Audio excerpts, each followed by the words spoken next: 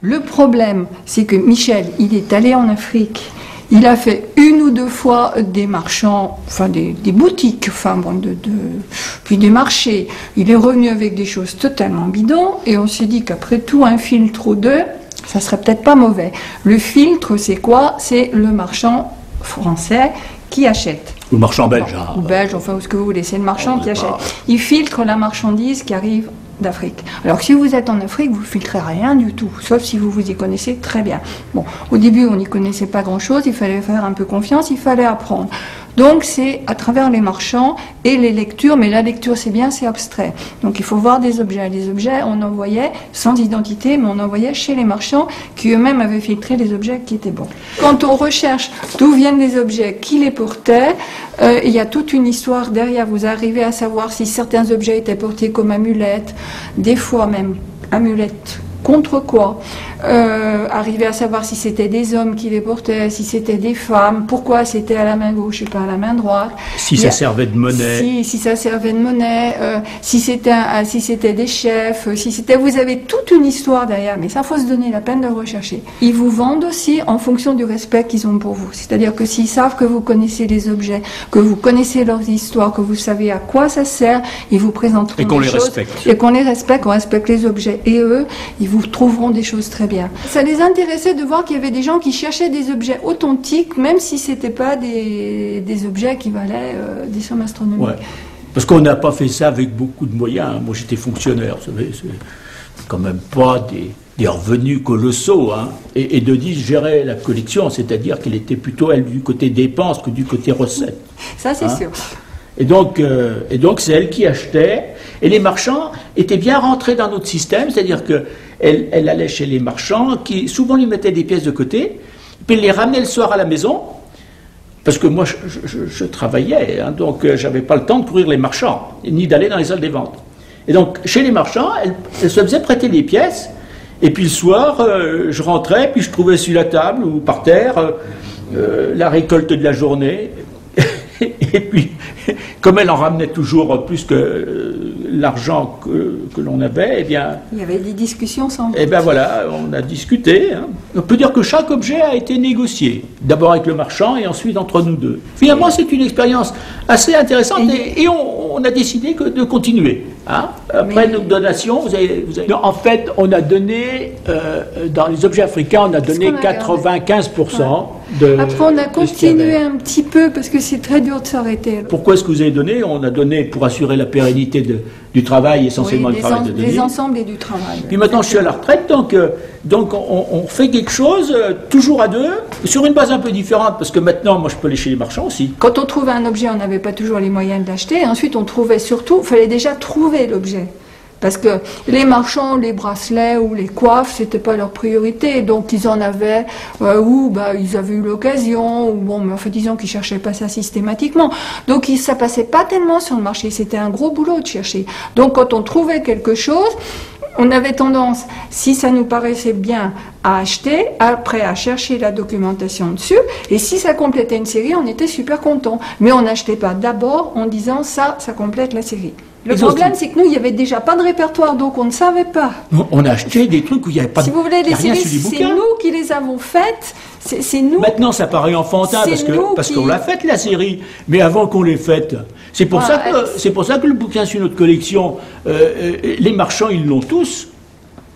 Il n'y a, pas tout, puis il y a peut-être des choses qui ne sont pas justes sur le bouquin, mais on a, on a essayé de faire des séries alors qu'avant, il n'y avait, pratiquement rien au niveau regroupement. Il n'y avait que le livre de les, Les chapeaux, pour les objets en métal, il n'y avait que le bouquin de Blandin. Et, regardez les chapeaux. Sur les, chapeaux, on en a eu combien des, chapeaux bannis Je ne sais pas, il faut leur demander. Ah, peut-être une, peut une, trentaine. Peut-être pas, mais 25.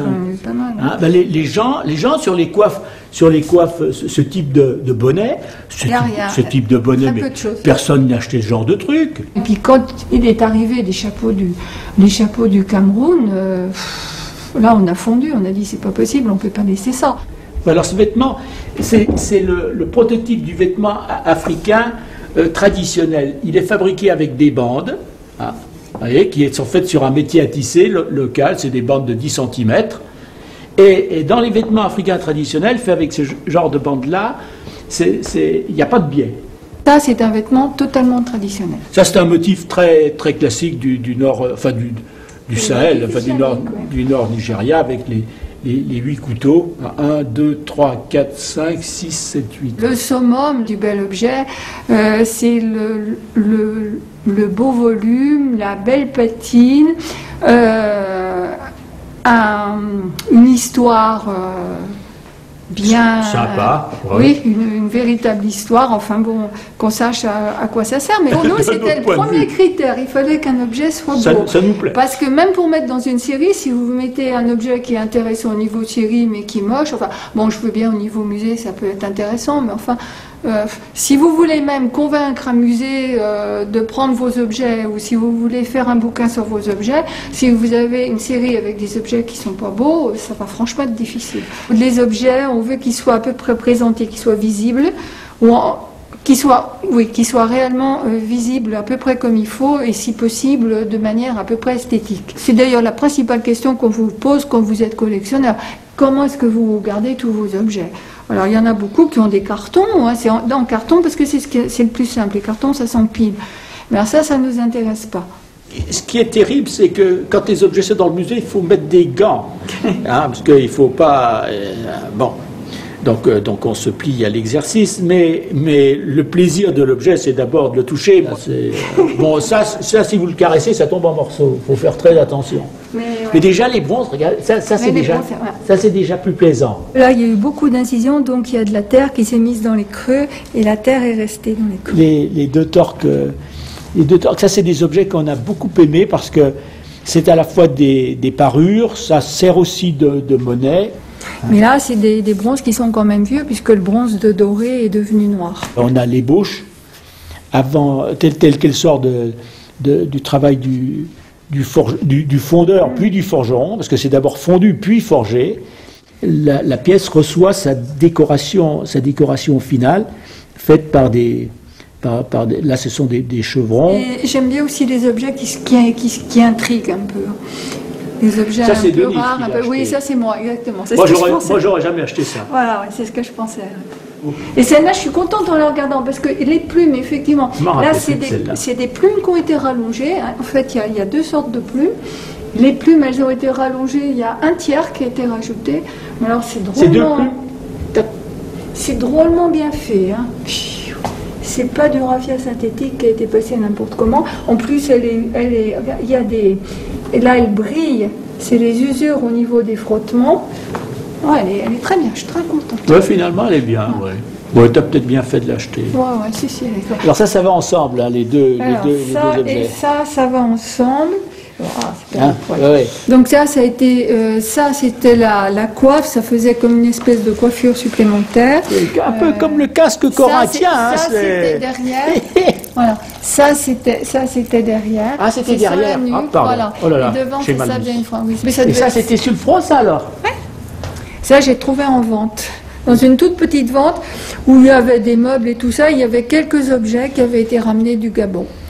Et ça, c'était un cache-sexe. En fait, il y avait une ceinture.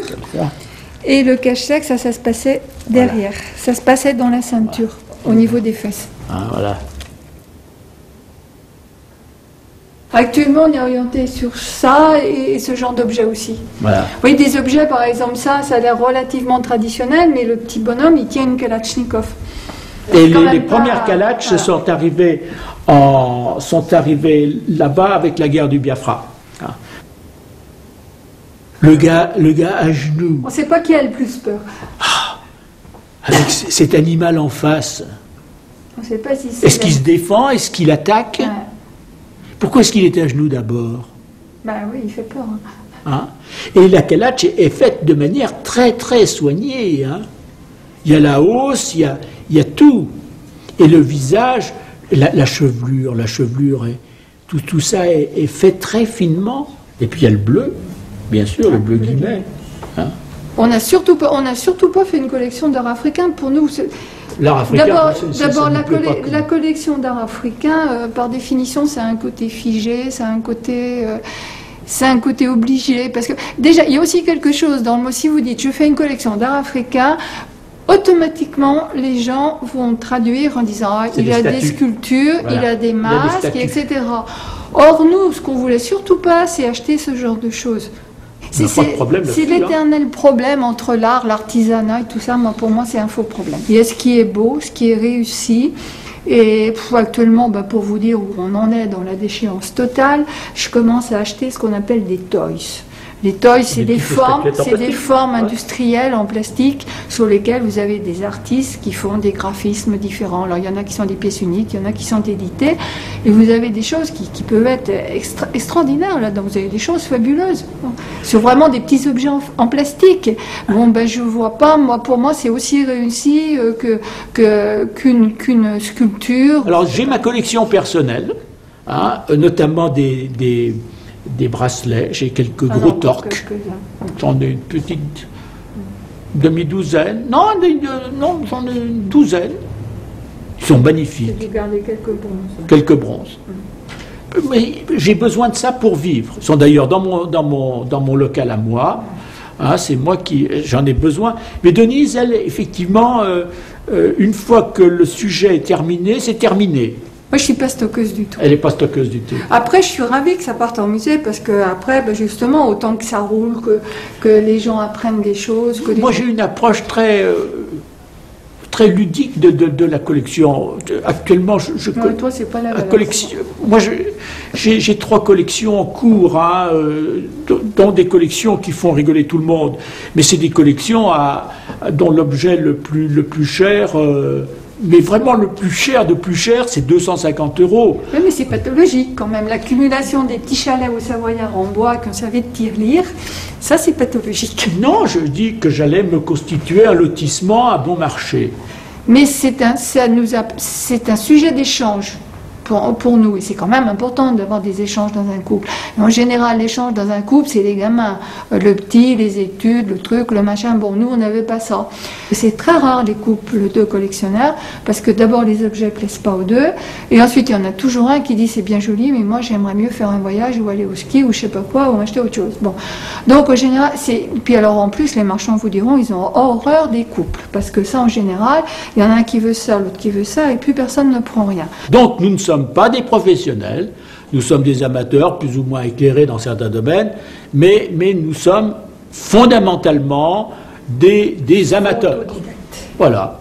Ça ne nous empêche pas de gérer notre petit musée personnel, nos collections personnelles. Bon, chez nous, y a, on ne porte pas de gants, mais, mais, mais on collectionne, on a des ensembles, on a euh, de la documentation, euh, mais il nous manque une billetterie ah, ça c'est clair. Euh, chez nous c'est gratuit. Vous comprenez, ce qui est gratuit c'est quand même suspect.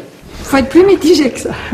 D'abord, quand on arrive à trouver un bouquin d'un ethnologue ou euh, une collection de musées euh, où il y a des objets qui ont été ramenés par des ethnologues, on, est super content parce qu'on se dit, oulala, ça c'est bien celui-là, on est sûr qu'il vient de là, qu'il servait à ça, on a toute la doc, c'est parfait. Ah, on respecte leur boulot. Hein. Donc ça, c'est génial.